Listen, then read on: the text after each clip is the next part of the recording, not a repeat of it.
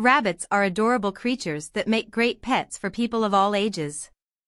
Not only are they cute and cuddly, but they are also incredibly intelligent and can be trained to do a variety of fun tricks. If you're considering getting a rabbit as a pet, here are some things you should know. Firstly, rabbits are social animals and require lots of attention and interaction with their owners. They are also very active creatures and need plenty of exercise.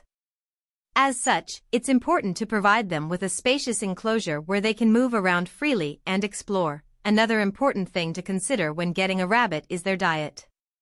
Rabbits are herbivores and require a diet that is high in fiber, such as hay and fresh vegetables. It's also important to avoid giving them sugary treats, as this can cause digestive problems and other health issues.